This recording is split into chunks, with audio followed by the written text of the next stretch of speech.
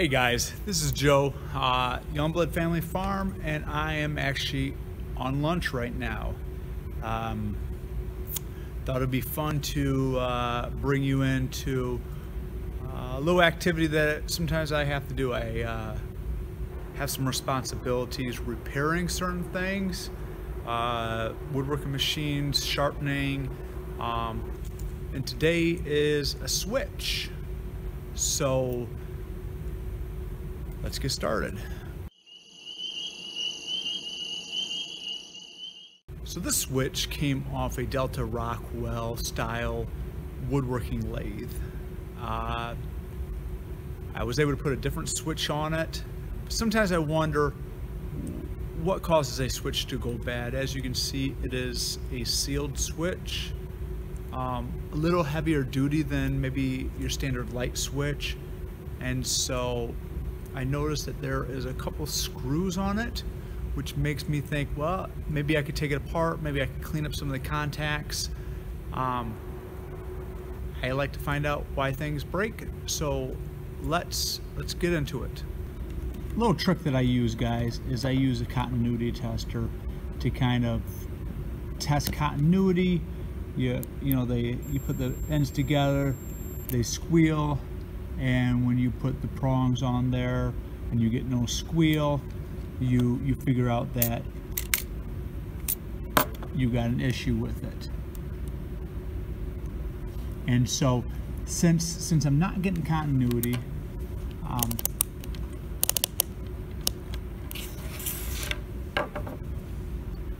like I said sometimes the contacts get a little uh, discolored, whatnot. What I noticed though is that before I take it apart, I take take pictures of it.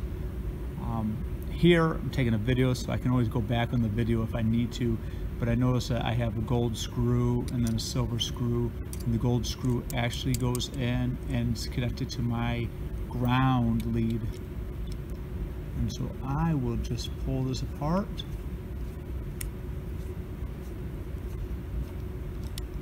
right off the bat I see that I got I can't actually see it but I can see it through the screen. I see some sawdust on the table which I, I always find sawdust um, so that is what's inside that switch. So let me just Take a look at that. So that rocks back and forth. There's one screw. That goes on that plate. There's my toggle. And I have this mess here. I'm sure that that is supposed to pivot. Here's my different contacts. Really, that's more of a disconnect than anything.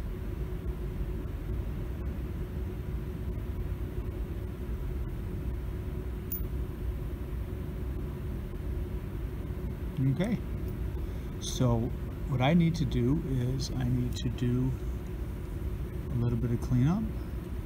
That is actually a little spring.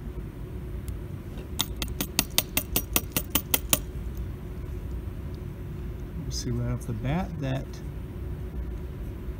just even tapping that is cleaning up quite a bit. Not like so many of you guys, we always played the game of is it worth is it worth the time? Um, well, probably not probably not worth the time.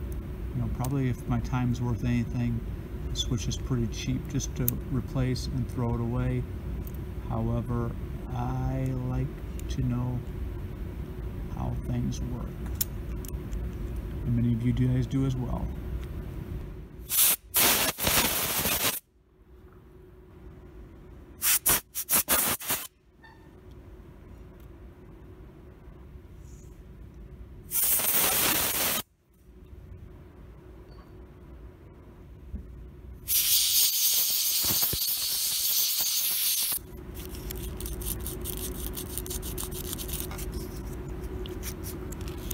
See these contacts here reminds me of I was a kid working on vehicles that had points. Some of you guys remember that.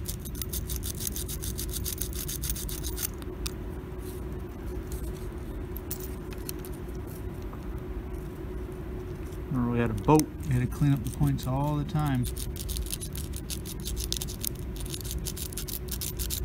As I look at this, I want to make sure that that contact doesn't have any kind of I wouldn't have soot. Soot's the wrong word. Any kind of burning.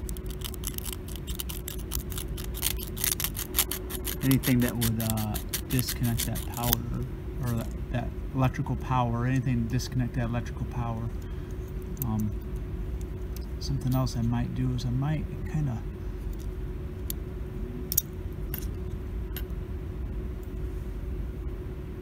put a little bend on these. So I know that it will uh, will spring that shut.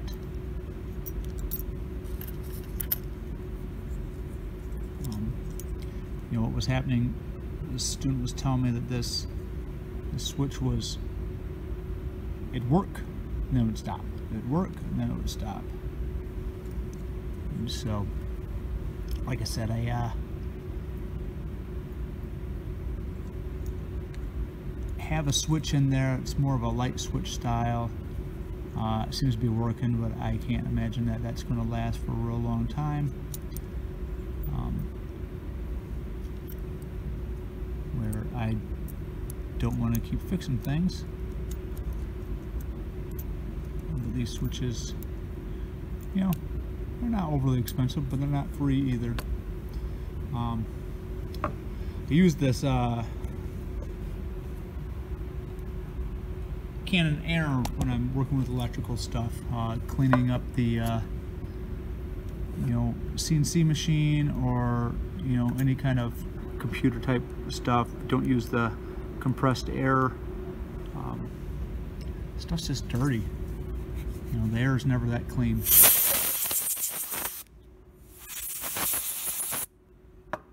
So, this little spring in. some kind of rubber stoppers down in here. They almost feel like erasers. And then I have the switch.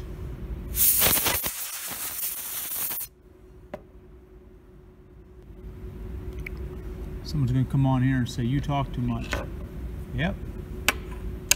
Sure do.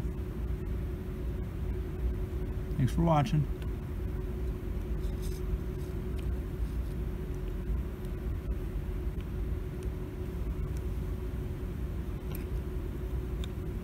like I said before, we have silver screw. We have a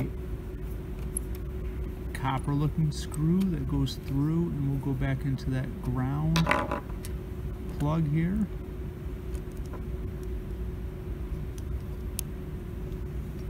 And somehow I've got to line this up for you guys.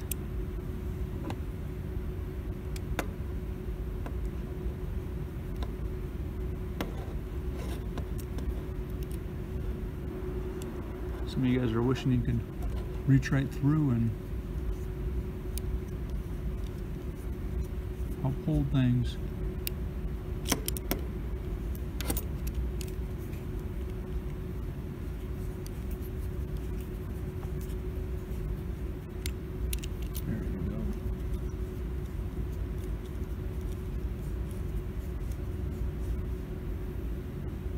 Right side screwdriver makes things a lot easier. Oh.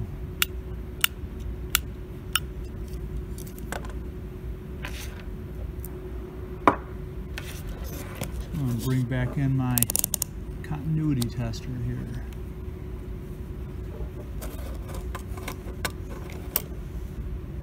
And got nothing, that should be off.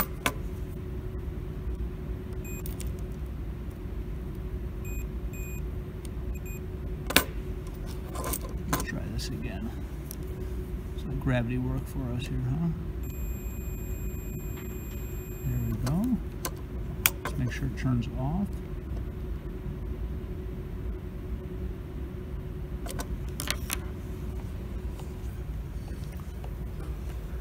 Um, so that's it. Restoration, I think not, but uh, we might call it that. Uh, simple cleaning. Um, financially in my head, I, I don't know. You know, I, I, I've got to buy switches. I usually have a couple extra switches laying around. Um, this took about 15 minutes of, of my day. Um, yeah, I think I'm ahead. Uh, learned a little bit more.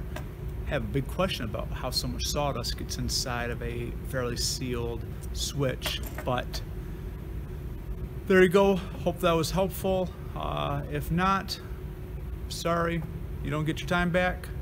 Um, but I will put this on the shelf and now I've got a usable switch to use again and you if I can do it you can do it right?